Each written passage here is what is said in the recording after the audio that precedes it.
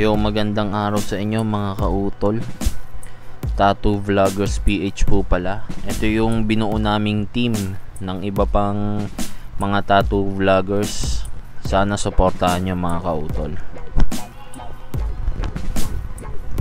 Ito yung gagawin natin ngayon. Keloid cover up. Yan, simulan na natin mga kautol gamit ko pala dyan is 9 round shader. Ava cartridge. Sisiksikan ko muna yung mga ibang detalye. Ito pala ito yung unang beses na ginamit ko tong bagong machine ko yung GT pen ng Ava na ano mini lang siya mini. Mas komportable ako sa ano eh parang ballpen lang eh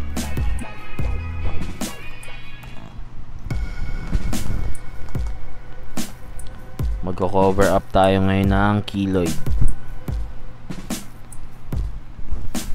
habang ginagawa natin yung mga detalye eh sige explain ko muna tong parting to. Yan pala mga kautol. Kaya round shader ginamit ko para hindi ano hindi masyadong sharp yung detalye sa parte na yan. Gusto kong kunin yung detalye niya na ano eh. Kasi parang ano yan eh tawag doon? Parang sapot ganun. Ewan ko basta alam ko bulaklak tong design na to eh. Yung mga butas-butas lang yung iitiman ko dyan. Yung the rest nun kulay white na kasi. Sa huli ko na yung lalagyan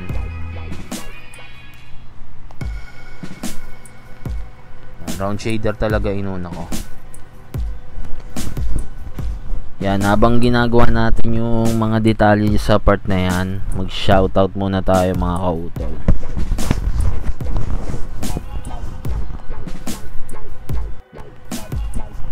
Shoutout nga pala sa iyo utol Jazzy Kalanok.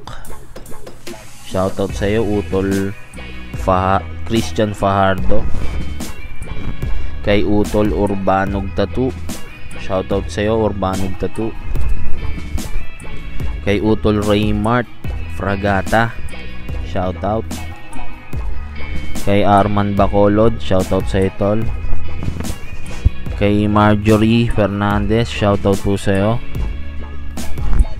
Couple Gamer TV shoutout sa inyo Couple Gamer TV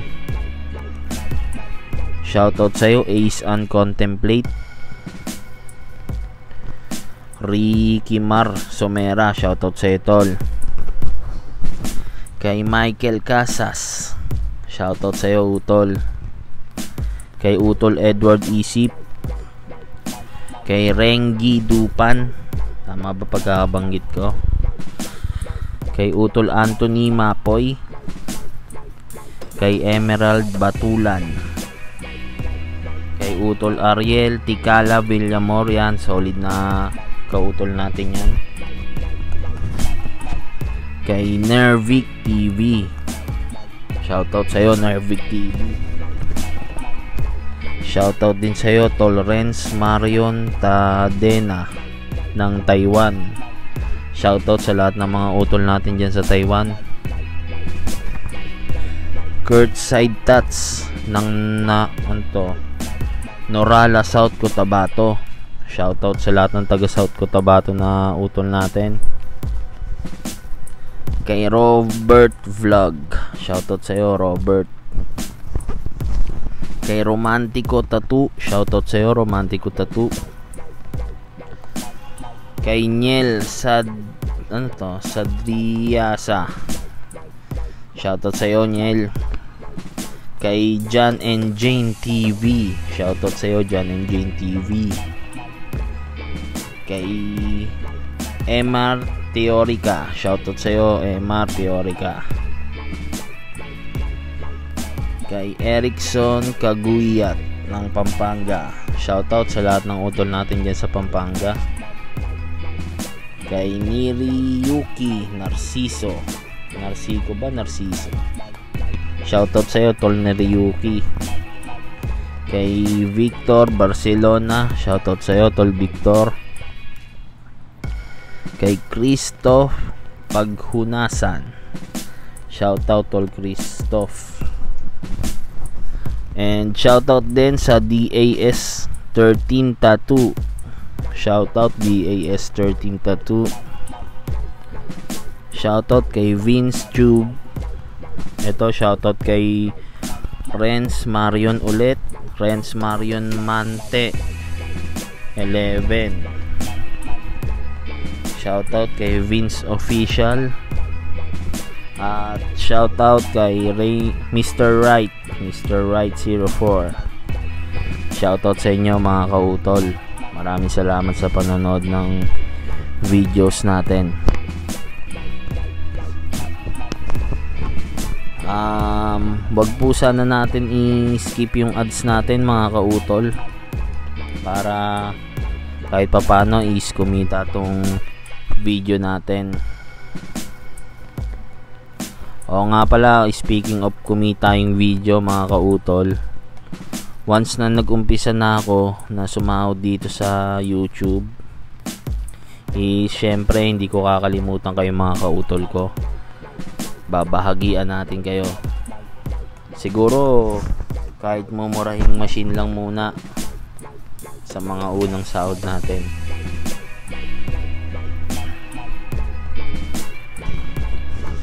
So, eto na nga, mabalik na tayo dito sa tattoo. Umaabot kami ng ano dito, siguro mga anim na oras sa tattoo na to. Kaya hindi ko napagkasya yung ano eh. Yung video masyadong malaki para i ano i real time lahat. May mga parting i ano ako dito ipa fast forward yan round shader pa rin yung gamit ko dyan mga kautol para hindi sharp yung ano yung detail pero gagamit pa rin tayo ng liner dyan.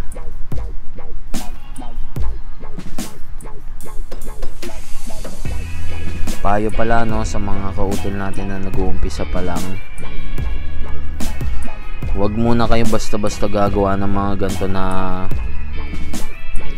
mag-cover ng keloid mag-cover up ng mga old tattoos ng mga malalaking cover ups ang pinakaunang una ang pinaka-importante nyo munang gawin is magamay nyo. Magamay nyo yung kung paano maglinya kung paano mag shading yung values ng kulay. Ayun yung pinaka-importante. Lahat ng basics muna. Darating din tayo dito sa gantong ano sa gantong parte na may mga tatakpan-takpan na tayo pero sa kung baguhan ka pa lang gamayin mo muna yung mga sinabi ko. Ito gumamit na ako dito kautol. Gumamit na ako ng flat shader na 27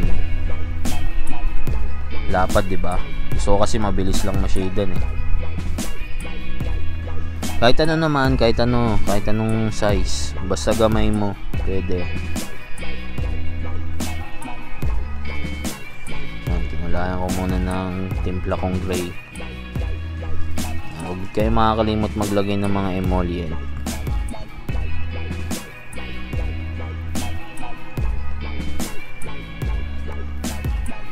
Gray wash muna tayo dyan.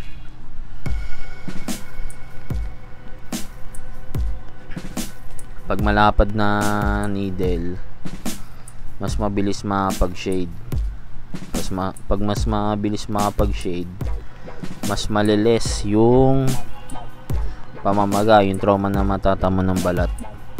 Pero hindi naman sa lahat ng oras kailangan malapad yung gamit mong needle. Depende pa rin sa design depende pa rin sa kung saan ka magtatato kung ano yung bahagi na tatatuan mo kung kakasya ba yung malapad o hindi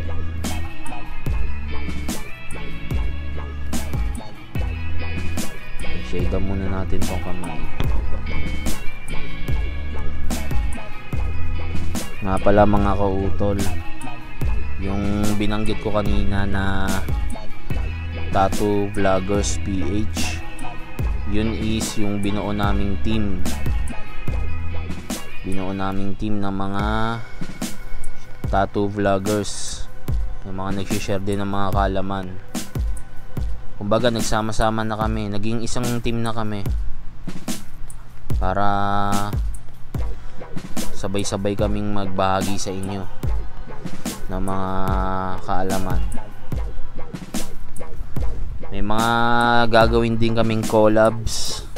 Yan dapat yung abangan yan sa amin mga kautol. Kasama sa team na yon si Dut Dutero TV si Jamir Tattoo TV yan shoutout sa inyo mga tol. MJ Ram TV MJ Ram Tattoo yun kasama yan. Marami pang iba mga kautol.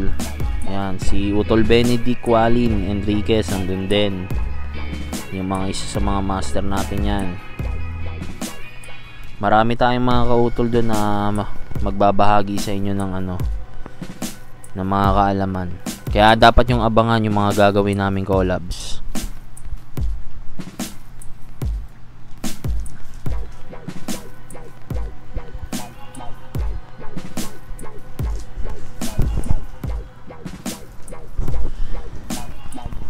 Dito pala sa ano sa GT pen na to ang gamit kong voltahe dito is ano eh saktong 7 volts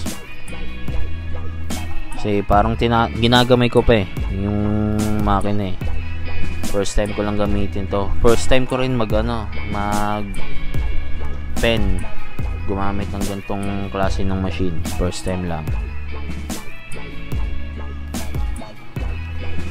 Um, sa pagkakaano ko ang sarap niyang gamitin kasi para ka lang talagang nagdo-drawing eh. Parang gamit ang hawak mo lang yung sharpie lang yung hawak mo parang ganun lang sobrang smooth pa gawa pa rin siya ng Ava kasi yung nakaraan eh. Nasira yung diamond ava ko eh na rotary.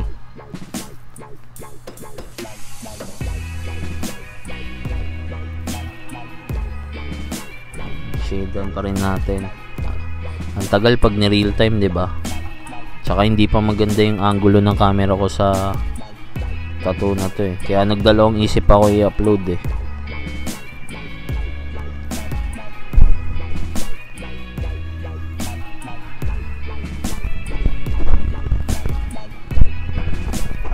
mamaya tatalakayin natin yung keloid pag nandun na tayo sa parting yun ito detalye muna yung ginawa ko dito sa bandang baba eh. kita nyo yung kapit ng stencil natin oh. solid na solid yung kapit nyan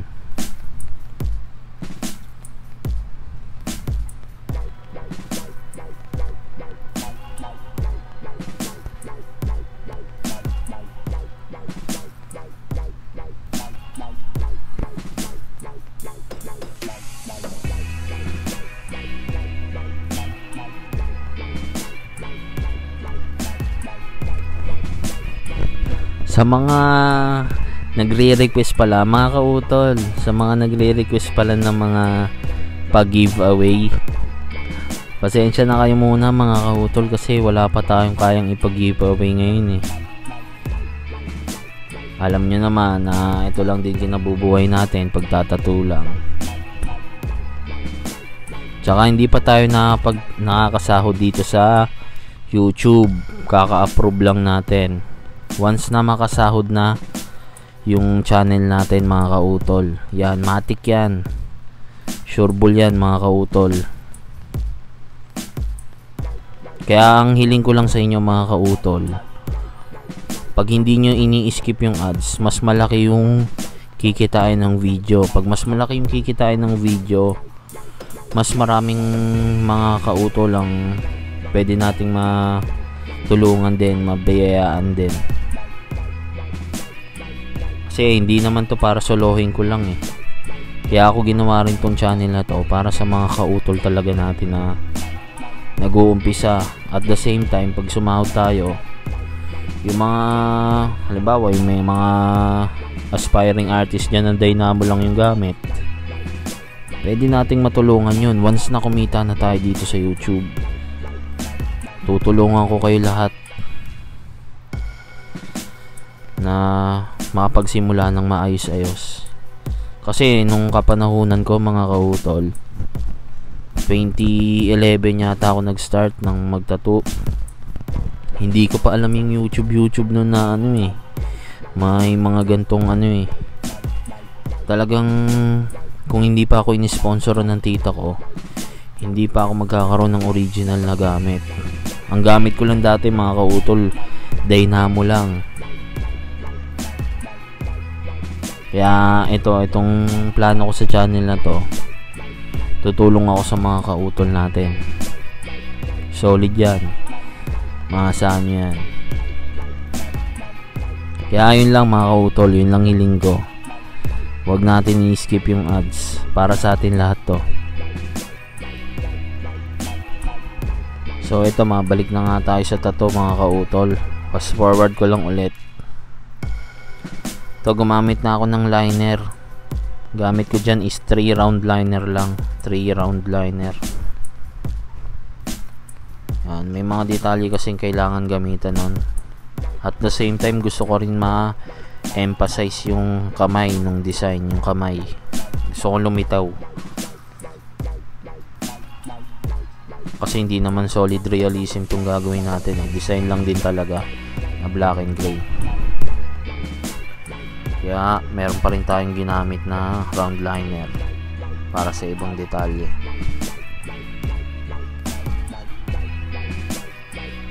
Yan, kasi mas lilitaw talaga yung ano yung pag nilinyan yan may emphasize talaga yung gusto mong palitawin pag gumamit ka ng round liner pasensya na sa camera mga kautol kasi nahirapan din ako eh. Nahirapan din ako sa pagtatattoo sa parting yan eh. Sa client na to pala sa client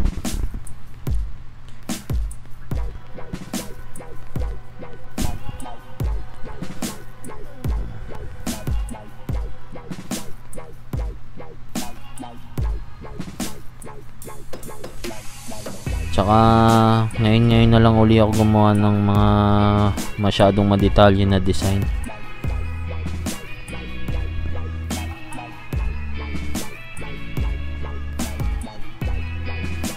Ah, bumalik na uli ako sa round shader.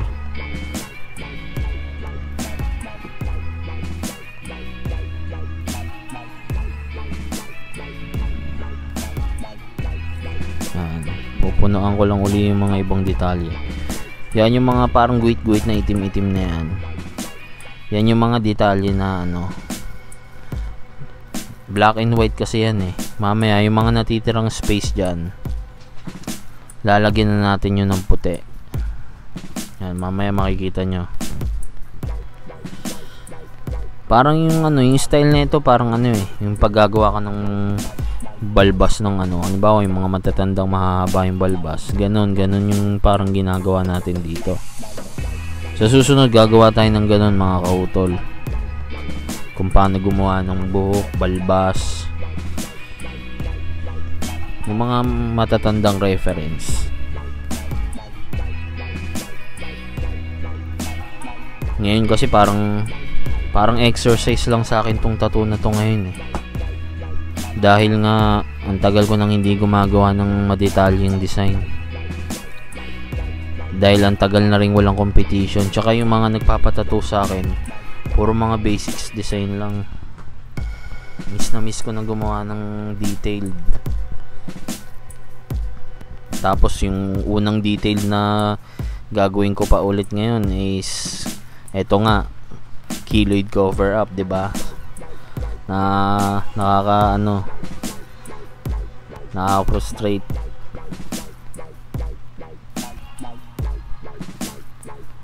kumbaga challenge din to eh sa akin eh. Ganto lang ako, ngayon lang ako gagawa ng ganto kalaking ano, keloid cover up.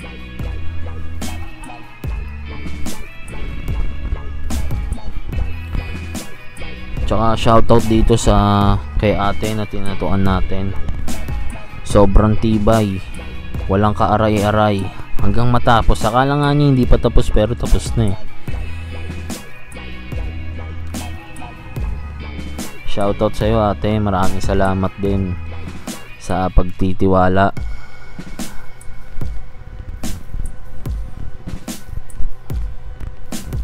Yes mga kautol, babae yung tinatatuan natin dito. Ano to eh? Old tattoo. Tapos pina-laser niya. Nag-keloid. Ang laki ng keloid. Kaya papatatuan niya na lang ulit.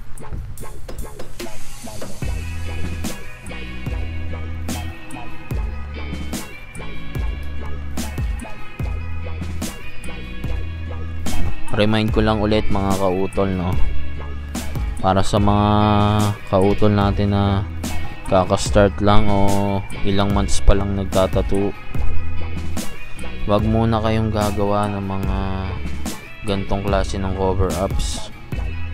Mas mag-focus muna kayo sa kung paano nyo magagamay yung shading, lining kung ano-ano pa. Yung mga basics muna dapat makabisado natin lahat yan. Kasi itong cover up madali na lang to. Pagkabisado na natin lahat ng yon lahat ng mga sinabi ko. Huwag tayong magmamadali kasi dadating din yan eh. Dadating din tayo sa point na to. Eto ginawa ko lang shinare ko lang tong video na to para makapag-usap-usap din tayo.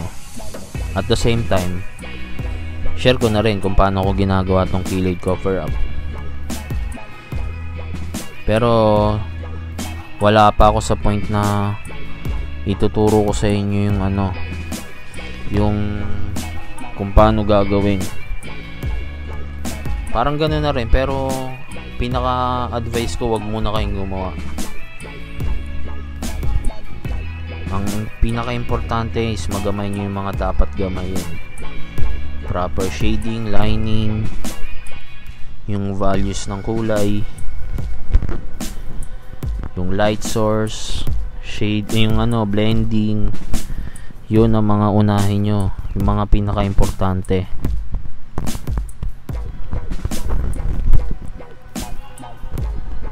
kasi 9 years na ako nagtatato eh. Nag try lang ako mag nagumpisa ako magtato di ba 2011 nag try lang ako mag cover up 2017 kabadong kabado pa ako nun. Tapos ang laki ng kinover up ko. Buti nagawa ko naman siya ng maayos. Yun simula nun hindi na ako natakot mag cover up unahin nyo muna kung magko cover up na kayo unahin nyo yung maliliit lang. Tsaka yung mga malabong malabo na na tattoo. Wag muna yung mahihirap. Doon kayo magsimula mag cover pero mas maganda kung a year na yung ano nyo eh yung experience nyo eh. Ito mga kautol gumagawa ako ng buhok. Gamit ko pala dito mga kautol is ano ba yan? 13 M1 13 lang yan 13 curve magnum. Yan gumagawa humuhulma lang ako ng mga hairline gamit yun. Ah, palit ako ng ano 27 para mas mabilis mag shade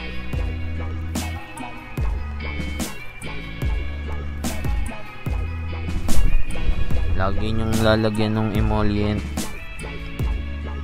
para iwas din sa pamamaga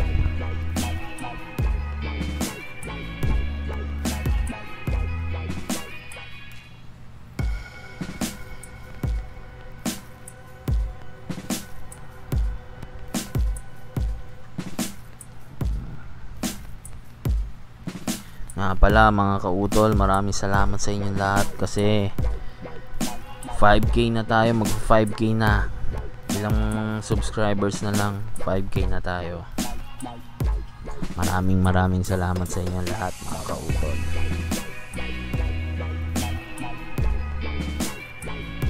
Ayan yung gamit kong power supply. Dual power supply. Matagal na yon 2018 pa yata 2017 sobrang tibay niya. Sa MLC ko na score. Yan naglining uli ako dyan. Yung detalye. Malapit na tayo dito sa may kiloid na parte.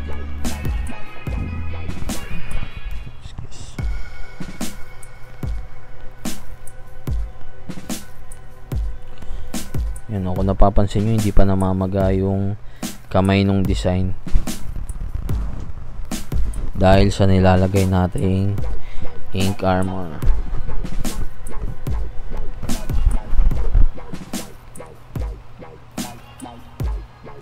Ito guma yung liner ko pala dito, ang gamit ko is Stealth Rotary.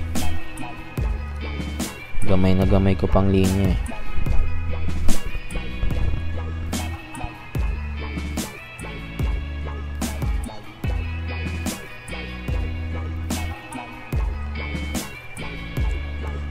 Pa rin yung stencil natin mga kautol di ba?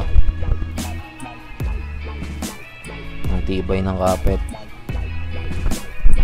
yan sa kiloid na parte na yan.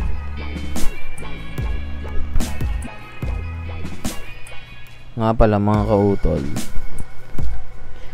yung mga kiloid mga kiloid peklat ibang klase na yan ibang klaseng balat na yan mas madali na siyang masugat, mas madali nang makat. Kaya alalay lang yung ano natin dyan, yung hagod. Alalay lang din yung guhit.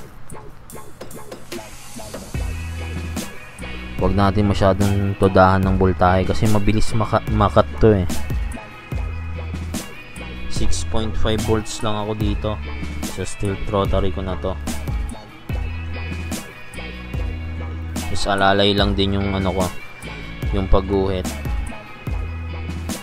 Hindi ganun ka solid kasi iba na to eh, kiloid na to eh. Mas mabilis siya makat, mas mabilis masugat. Tsaka may tendency na ano, hindi kumapit yung ano, yung tinta mahirap.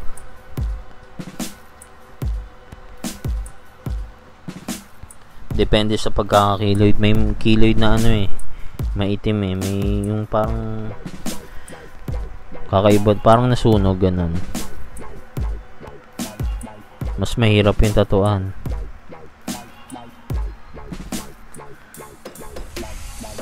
Eh itong kiloid ni ate light, light lang naman siya eh. Tsaka pag ganun pala mga kautol pag cover up lagi nyo siyang itututok sa ano sa dark shade ng design. Kaya importante na marunong ka nang umintindi ng design ng kung anong gagawin mo. Marunong ka nang umintindi dapat.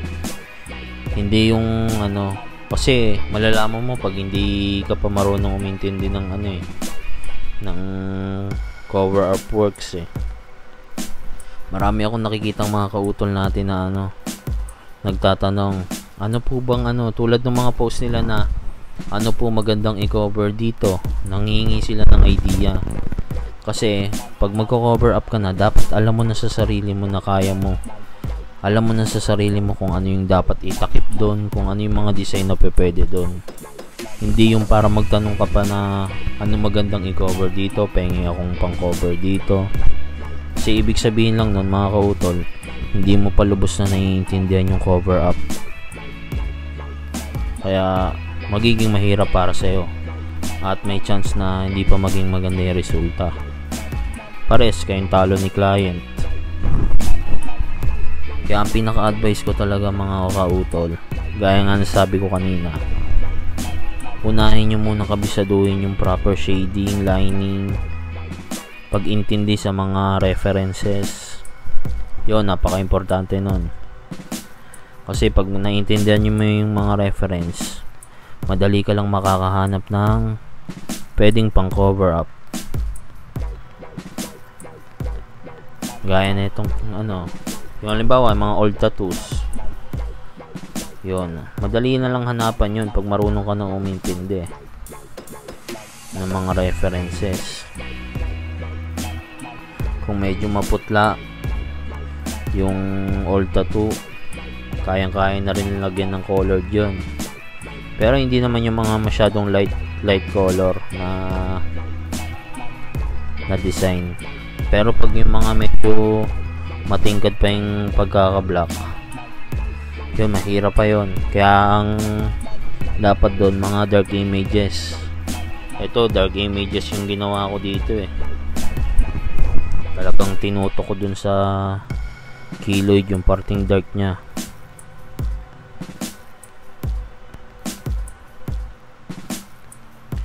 dapat dapat aaralin nyo rin yung mismong tatakpan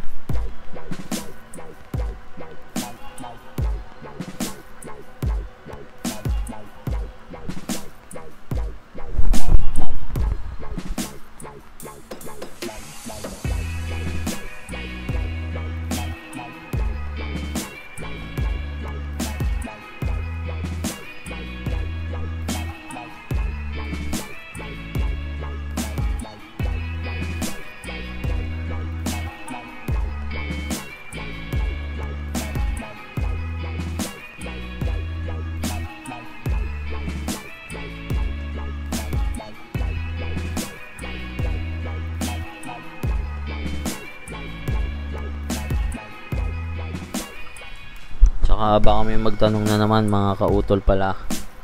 Baka may magtanong na naman ng about sa lalim ng baon ng needle. Pinaka standard talaga is 2 mm mga kautol. Pag tip riding ka, yung labas ng needle mo is 2 mm lang yon sagad na yon tas ididikit mo na yung pagkabaon mo nakadikit dapat yung tip sa balat yun ang tip riding. Pag floater ka naman siguro mga 4 mm yung labas nung ano karayom tapos 2 mm pa rin ang ibabaon mo. Yun lang ganun lang. Yung floater kasi para kitang kita mo kung saan tumatama yung ano mo eh yung karayom mo eh dito na ako sa bandang kiloid nagsha-shade kaya medyo alalay lang ako. Yan. Ewan ko kung ano nararamdaman ng client dito sa kiloid niya eh. parang antibay walang kaaray-aray. Solid to si ate. Siguro isa sa mga pinaka may mataas na pain tolerance na natatuan ko eh hindi ko alam no yung pakiramdam ng ano ng keloid pag tinatatuan kasi wala naman akong keloid na sa sarili ko na tinatuan eh.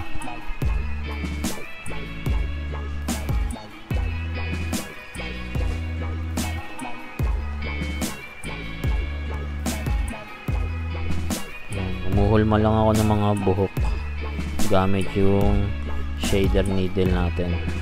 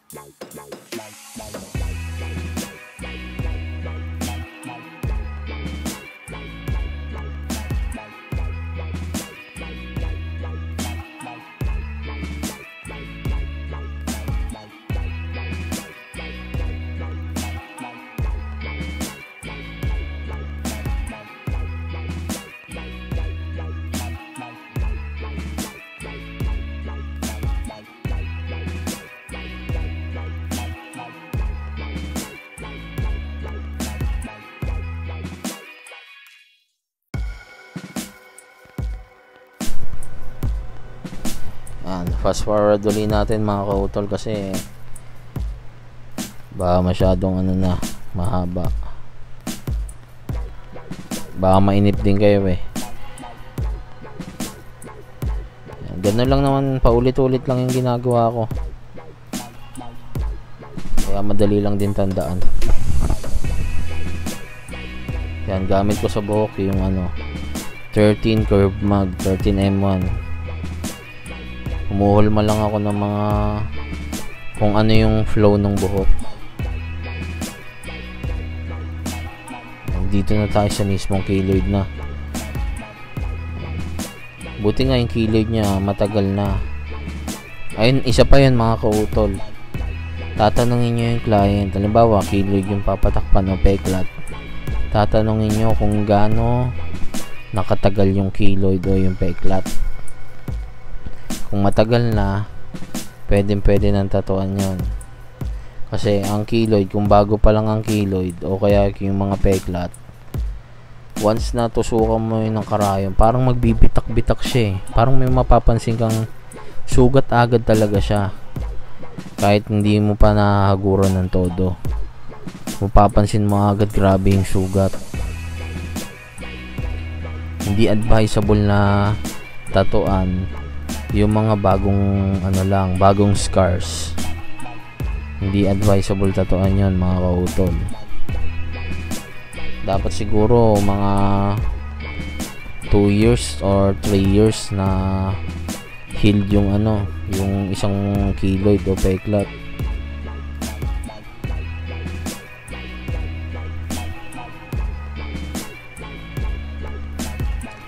Para sigurado sigurado yung jawline na yung ginagawa natin. Shade ko yung leeg.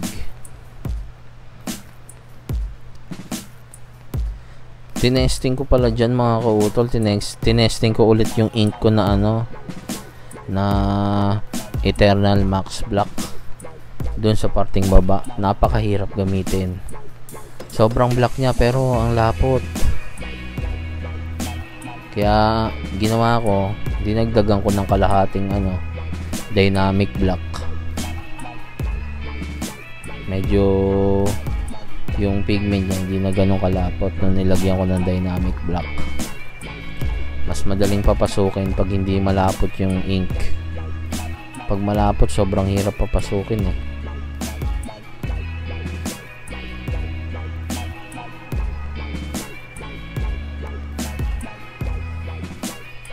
shadean ko muna.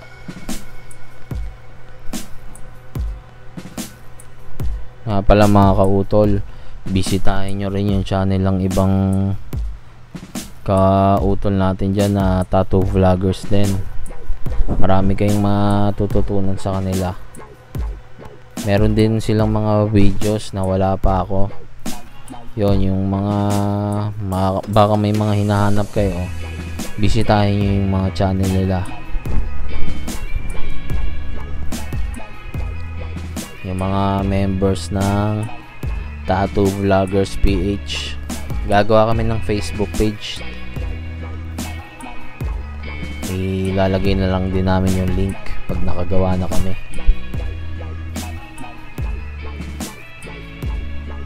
Marami kami doon siguro may kulang kulang 20 andun din si Tol Idol Basilio Vlogs. Yon andun yon si Master ano Mark Kevin Obscure. Shoutout sa'yo utol.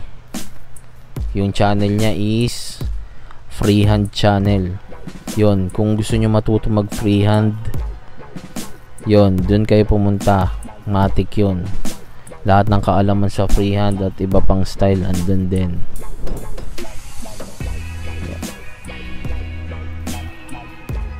marami pa marami pa tayong mga kapatid na ano, merong YouTube channel. Gagawa kami ng list sa gagawin naming Facebook page. Maraming collabs na dapat dapat yung abangan.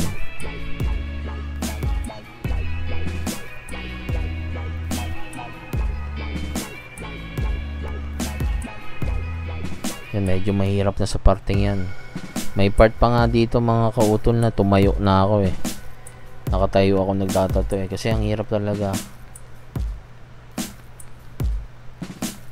Pasensya na mga kautol, hindi ko na naipakita yung dun sa may ano, hindi ko na videoan yung ano eh, kung paano ko ginawa yung labi tsaka yung ilong. Nalobat kasi yung phone ko noon nung ano na yun, yung part na yun. Kaya marami ring part na hindi ko na videoan kasi nalobat din ako saglit, kinurge ko. Yung labi niyan, mga utol, round shader lang ginamit ko dyan, walang liner. kahit yung ilong ilong ganun din. Round shade round shader lang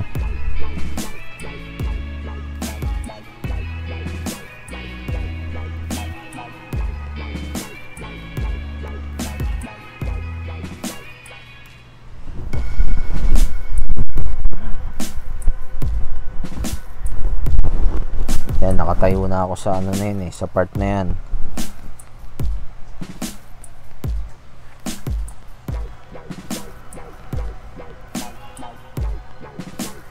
Tsaka yung feeling na nagtatato ng keloid, parang ano, kakaiba hawakan, parang nakakaano hawakan. Nakakailang.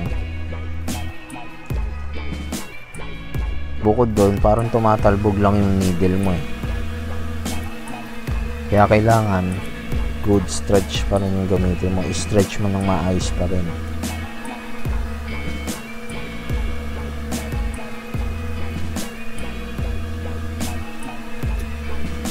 dapat lalagyan ko pa ng kulay ito eh. kaso sobrang pagod na rin ako kaya hindi ko na na-enhance yung design sa detail pa lang yan mga kautol lamon na lamon na yung oras ko eh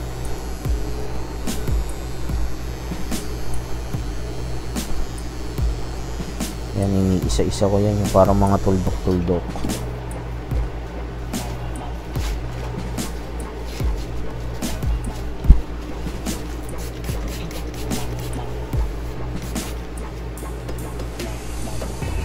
fast forward ko na lang muna ulit mga kautol kasi hindi masyado maganda yung angulo ng camera eh. hindi ko rin masum kasi na, nasa ring light lang yung ano ko yung cellphone ko nakatutok rin yung ring light malapit sa pwesto ko. Kaya hirap na hirap din ako magtato. Kaya hindi ko rin na focus yung camera. Sobrang detalye yung part na yan. Hindi ko na nga masyado nasunod yung ano yung stencil. Parang on the spot na lang din yung ginawa ko. Pero tumitingin pa rin ako sa stencil yan. Yan mga tol inano ko na ulit. Tinime lapse ko na ulit kasi hindi maganda yung ano eh. Yung pagkakakuha ng camera eh. Hindi ko ma-zoom. Kasi nasa gilid ko yung camera nasa ring light lang. Andun lang yung cellphone ko. Lagi ko natatamaan nabubunggo ko yung ano yung camera lagi hindi ko ma-zoom ng maayos. Kasi nakatayo na ako sa part na yun eh. nakatayo na talaga ako magtato kasi bandang ibabaw na rin talaga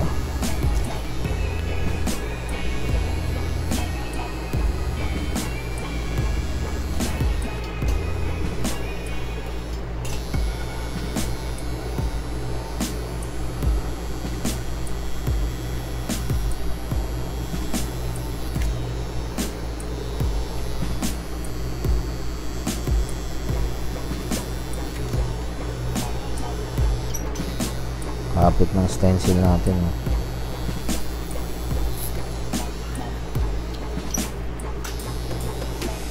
yan ulitin ko mga utol ah. Yung keloid. Tatanungin nyo muna yung client. Halimbawa may magpapagawa sa inyo ng ano ganyan keloid cover up. Tatanungin nyo palagi yung ano kung gaano nakatagal yung keloid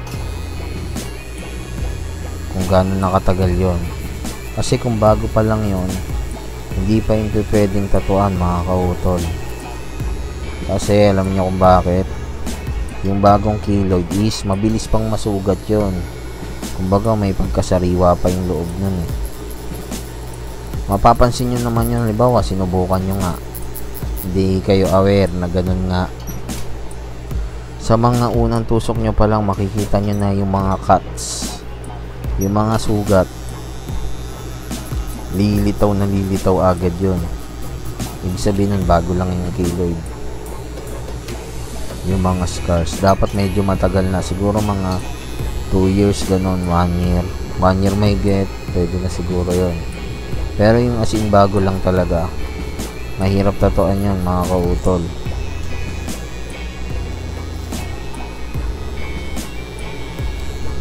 Tsaka ano eh tsaka ang keloid mga kautol ano eh mahirap tatuan dahil may posibilidad na hindi kumapit nga yung ano yung ink pag nag-heal. Kaya hindi basta-basta rin na gagawa ka lang. Dapat gamay mo na yung pagpapapasok din ng kulay. Dapat siguraduhin mong pasok yung bawat ginagawa mong shade o line dun sa keloid para mag-hold talaga yung ink dun sa keloid nga sa balat. Ibang klaseng balat na rin kasi yan eh.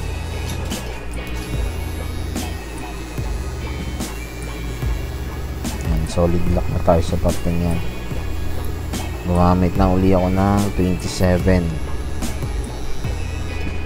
konti lang konti lang gagamitan ko ng malapad dyan kasi detail din talaga dun sa part yan sa taas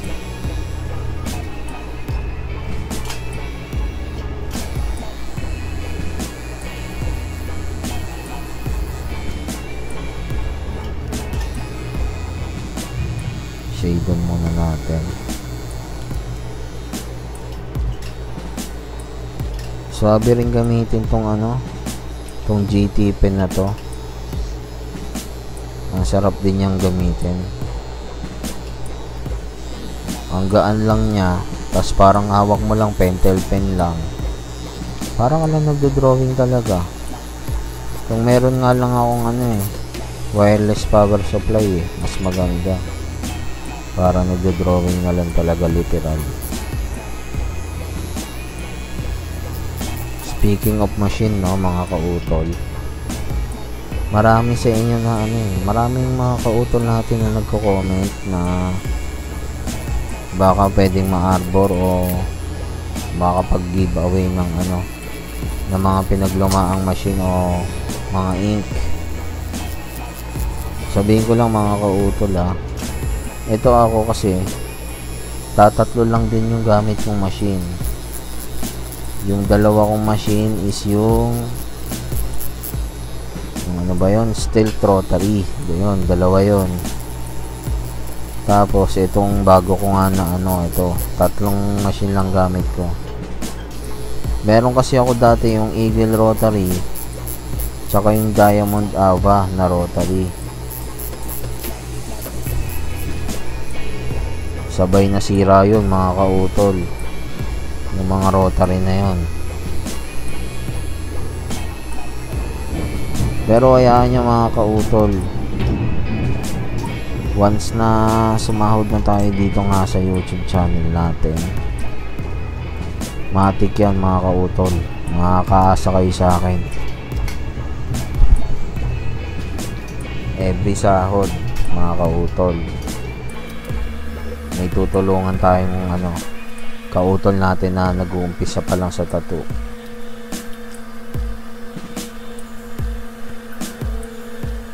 Makapagbigay man lang ng machine o kung ano man sapat na yun.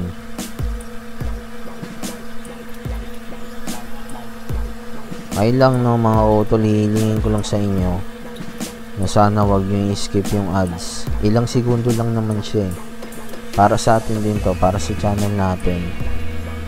Hindi to para solohin ko ah. Kaya ako ginawa tong channel na to is para makatulong ako sa mga gustong mag-umpisa sa tattoo industry. At the same time once nang kumita na nga to makatulong din ako sa mga hirap din makabili ng ano mga nangangarap na makabili ng supply pero hirap din talaga kasi nung ayun nga gaya nga nung nakwento ko noon hirap din ako noon eh dati dalawang taon ako nag ano dynamo machine Tsaka hindi akin yung dynamo machine yun. Hinihiram ko lang sa tropa.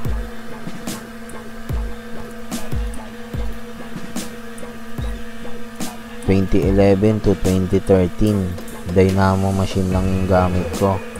Tapos yung ink ko... ...rotring lang. Tapos yung black ko... ...Stedler lang. Dalawang taon yun. Yan yung ginawa kong ano... Pra pang-practice halos walang singilan yun awa ng Diyos inisponsoran ako ng tita ko. Nakabili ako ng generic na coil na tattoo kit. Yun simula nun self study lang din. Walang ano walang youtube youtube nung araw eh. Nung ano pa nagsisimula pa lang ako hindi ko pa alam yung youtube. Yun yung nagpatato ako yung dati mga tattoo ko puro galing sa dynamo lang eh. Dynamo machine lang. Eh nakaipon ako ng pera. Talagang basta hindi ko nasasabihin yung halaga. Nakaipon ako. Nagpatato ako dito sa legit na artist dito sa amin. Yun yun nga. Tinuruturuan niya na rin ako. Vocal lang. Yung ano niya. Yung pagtuturo niya sa akin minsan ano sa chat.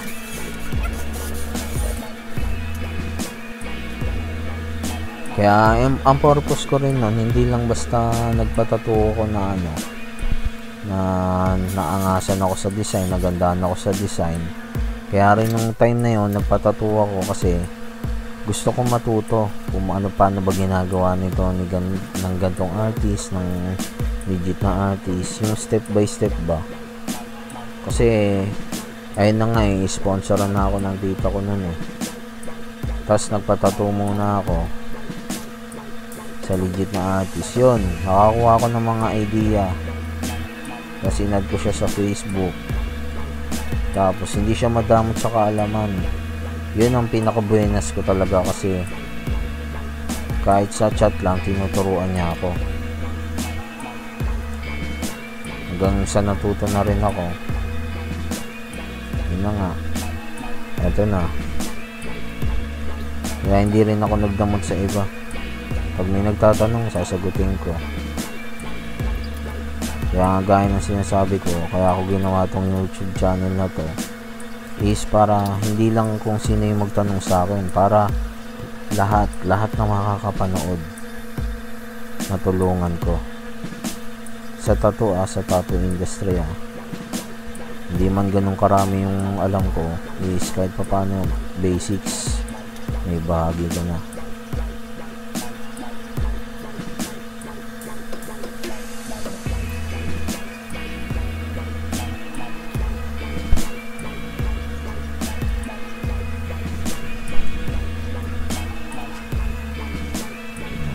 tayo sa taas sa bandang taas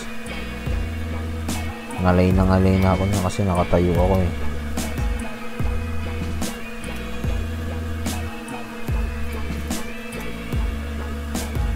Ay yung kilid nyo namamaga magano. Mag emboss na siya. Kasi pag wala kayong mga emollient mga kautol mas mabilis mamamaga ang keloid buti nga meron tayong ink armor eh. Kasi pag wala ka nun konting tusok pa lang dun i-emboss na yon kahit sa mga peklat. Ayun ang mahirap sa pagtatato ng peklat at ano keloids. Uumbok agad siya. Kaya yun oh alagang alaga sa ano sa ink armor. Shoutout sa'yo ink armor ah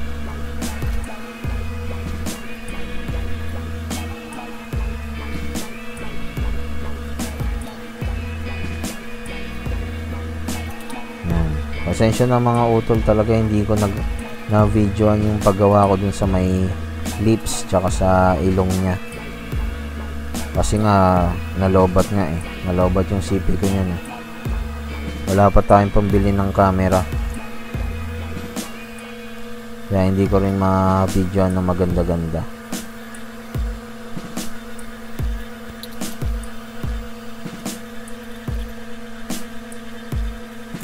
yan yung parte na yan yung ginagawa ko na yan. Yan na mag talaga rin na agad yan. Lumobo yan kahit may ink armor. Buhay na buhay yung kilid dun sa upper part na yun kaya napakahirap papasukan.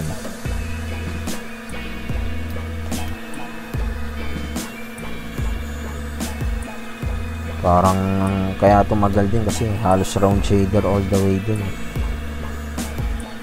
Pasensya na kayo mga utol, hindi ko na videoan yung parting mukha ah. Importante pa naman sana yun. Tumempo lang kasi talaga na ano eh. Nalobat yung phone ko nung mga oras na yun eh.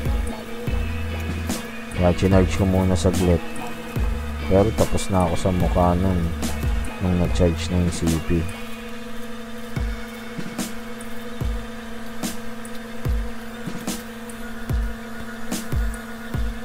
Yung camera pala niyan, yung ring light, halos nakadikit na sa mukha ko yan eh.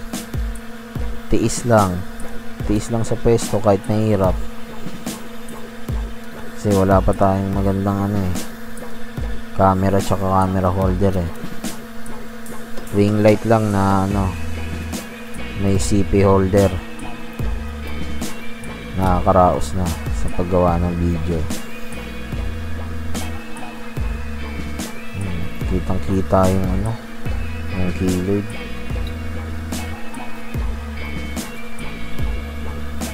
lagi may nakaabang na ink armor doon sa nakapatong sa gloves ko. Para madaling kunin.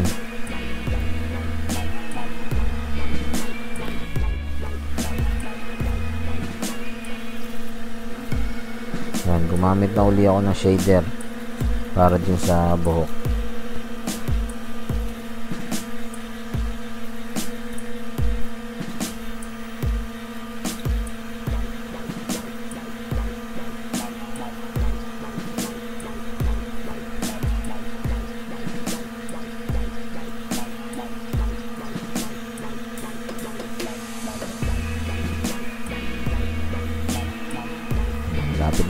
na matapos mga utol konti na lang konti konti na lang.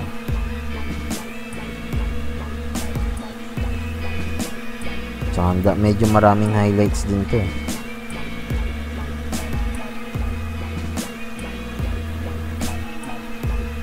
Dapat kaninang tanghali ko pa to i-upload. Eh kaso may schedule din ako kanina. Kaya ayun gabi na. Gabi ko na naasikaso.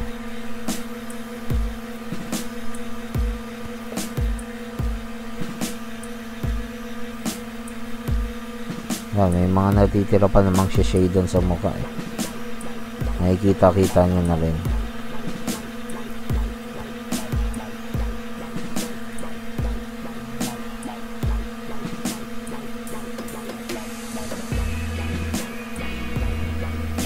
freestyle na lang ako kasi may mga parting stencil na nabura eh.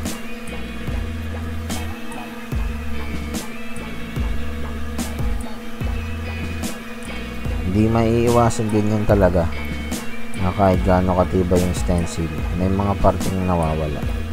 Pero still tingnan nyo meron pa rin diba goods na goods pa rin todo punas na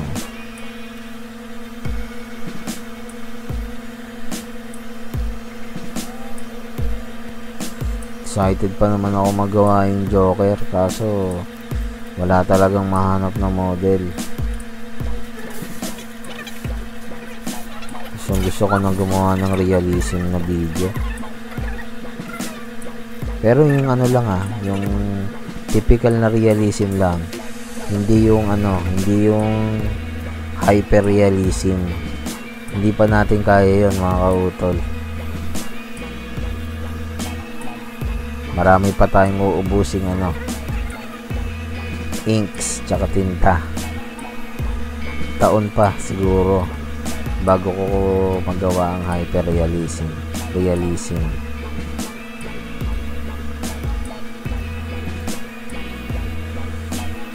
ensayo lang ng ensayo walang katapos ang ensayo to mga utol eh. Ganun talaga sa ano tattoo industry. Patuloy lang yung pag ensayo bawat years na dumadagdag sa experience mo malaki na yung ambag nun sa ano sa talent mo sa skill mo. Kada year kada panahon na lumilipas maraming experience madadagdag mas pagaling ka ng pagaling. Kaya huwag kang panghihinaan ng loob. Walang magaling sa umpisa nag-uumpisa pa lang. Yan, lagi nating sinasabi yan. Kasi yung iba pinapanginaan ng loob eh. Huwag kayo magpapadala sa mga ano sa mga negative comments. Normal lang yon hindi, hindi gaya nga na sabi ni ano eh ng isa nating kautol hindi lahat ng tao mapiplease mo.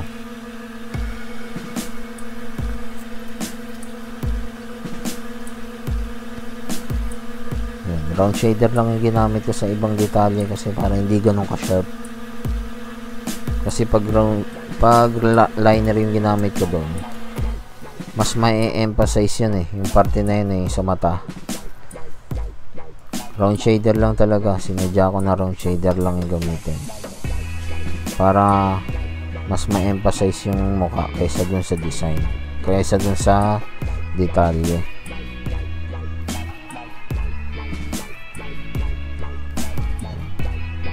Yung ginagamit ko para gumawa ng mga hibla na buhok yung ano eh 13 curve magnum 13 M1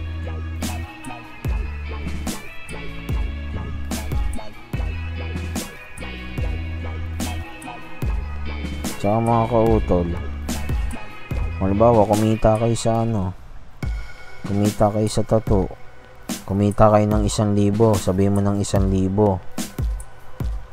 Yung halimbawa, wag mo lahat gastusin. O kailangan mo ng panggastos eh, pero kahit papano, mag-ipit ka ng konti. Bawa sa isang libo, mag-ipit ka ng 150 o kaya 200 para na yun sa tattoo supply mo. Para sa iyo yun para sa hanap buhay mo yun. Dapat laging merong ganun. Meron kang isi-save. Para just in case may bubunutin ka. Yung sa isang libo tabi mo yung dalawang daan para sa tattoo supplies mo. Mga gamit machine o etc yung 800 na matitira sa isang libo mo yun yung panggastos mo bili mo ng kung ano-ano pangkain pang budget ganun lang. Isipin mo wala ng 200 itabi mo na agad yon hanggang sa makaipon ka na. Makaipon ka na ng paunti-unting gamit. Kasi mahirap mga utol pag ano eh. Mahirap pag biglaan kang bumili ang sakit sa bulsa mas okay talaga yung na, nakapag-ipon ka. Yan puputihan na natin. Puputihan na natin. Mabilis ang video lang. Time lapse lang. Kasi hindi ko makuha ng maayos eh. Medyo sira sira na rin tong ring light ko eh. Hindi naman lahat yan purong ano no yung buong details niyan hindi lahat yan kailangan mong putian. May mga papalitawin ka lang na ano parte. Hindi ko kasi masum eh. Baka mamaya may isum ko to.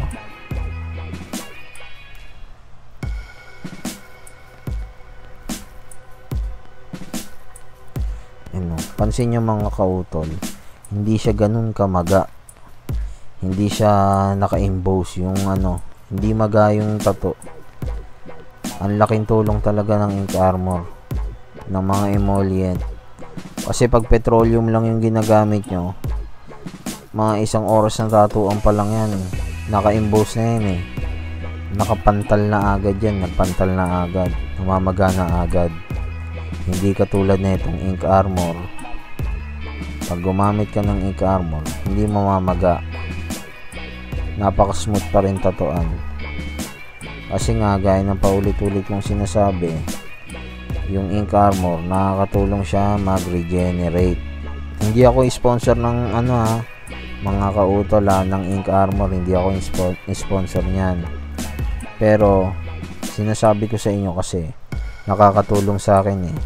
Gusto ko, maka, makatulong din sa inyo. Magkaroon kayo ng idea. Hindi ko binabanggit yun dahil sponsor ako nun. Hindi, hindi ako yung sponsor nun.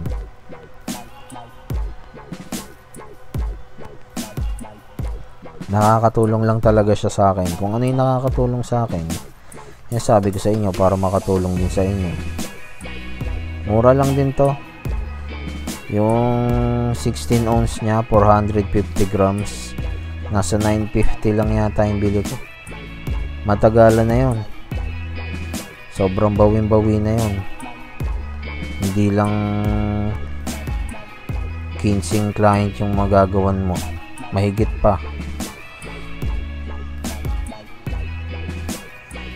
Meron din naman silang mga maliliit lang. Iaabot kaya naman talaga.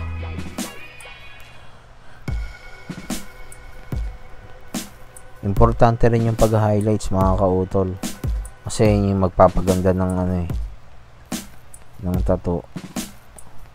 Hindi na eternal yung gamit kong white dyan. Ano naman, Star Bright. Star Bright yung white ko dyan. Nag-try ako ng ano Starbright. Yung Fusion, na-try ko na rin yun. Okay din eh. Yung white ng Fusion. Yung pinang ano ko dyan, yung pinang tawag doon, pinang shade. Round shader pa rin yung pinang highlights ko. Kasi ayoko ng sharp eh. Ayoko ng sharp na dito, na ano, na highlights.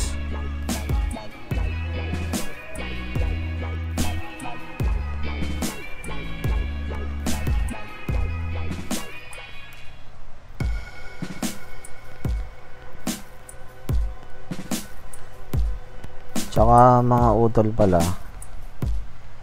Nag-prepare din ako ng ano ng isang ink cup na may lamang witch hazel. Purong witch hazel lang. Yan, pag nag-highlights ako, i-dip ko, isasawsaw ko yung needle dun sa white tapos, isasawsaw ko ng mabilisan dun sa ink cup na may witch hazel. Mabilisang dip lang mga utol, mabilisang sausaw.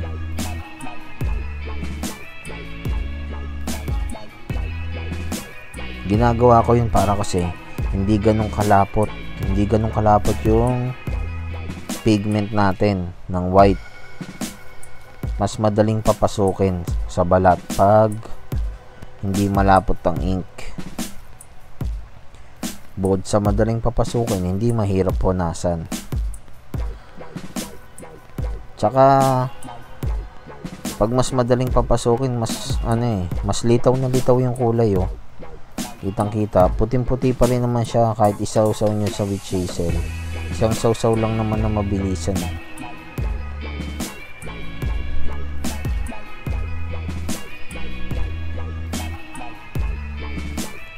Alaga pa rin sa ano alaga pa rin sa ink armor.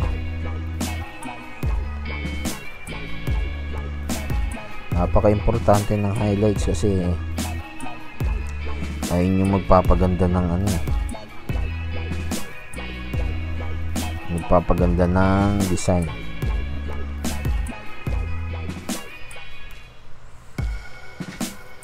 Napaka importante niyan sa mga ano priority ano yan? Priority na materialis yan. Laging kakambal na ng black yan yung white.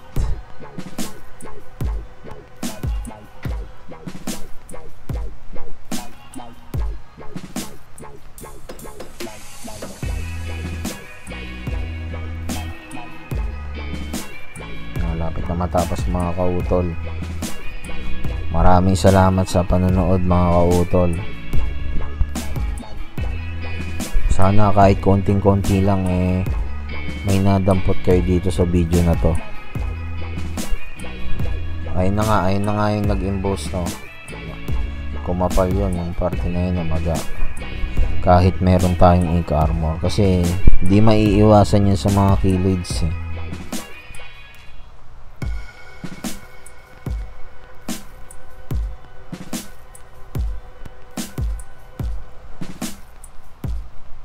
Lagi kong pinapahira ng ano yan. Lagi kong pinapahira ng ink armor.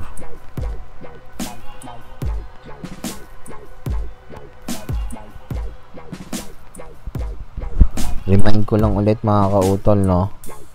Meron kaming binuong team. Tattoo Vloggers PH. Abangan nyo na lang yung mga gagawin namin collabs. Na para sa inyo rin. Na mapupulutan nyo rin ng kaalaman. At the same time, sasamahan na rin namin ng kahit papano entertainment na rin. Para busog na busog, 'di ba, mga kautol?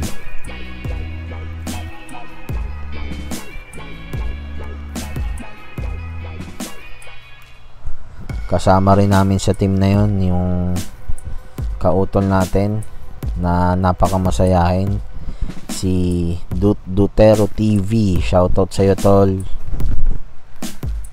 Kasama 'yon sa ano natin sa team Tattoo Vloggers PH. Nandun din si Utol Jamir Tattoo TV. Shoutout sa inyo tol. Si Paul Aquino Artworks. Nandun din si Paul Aquino. Si Utol Randy. Kung nakasubscribe kayo kay I Love You Tattoo TV. Yon. Kasama rin namin yon. Shoutout sa inyo mga utol. Mga tol idol natin nandun din. Hindi ko na maisa-isa yung mabanggit yung channel nila kasi hindi ko pa kabisado yung pangalan ng mga channels nila. Pero gagawa kami ng page. Yun, makikita nyo na yun dun. Balik na tayo sa tato mga tol tapos na rin tayo eh ganun lang laging ginagawa ko sa highlights nagre-ready ako ng isang inkap na may witch hazel doon ko sin sinasuso ng mabilisan yung ano ko yung white. Para pasok agad yung ano. Hindi na nga ganun kalapot. Kita nyo naman di ba? Puting puti pa rin naman eh. Hindi naman masyado nakaapik sa clarity ng kulay. Yan gumamit ako ng 3RL dyan. Konti lang. Hindi ako gumuhit ng mahaba ah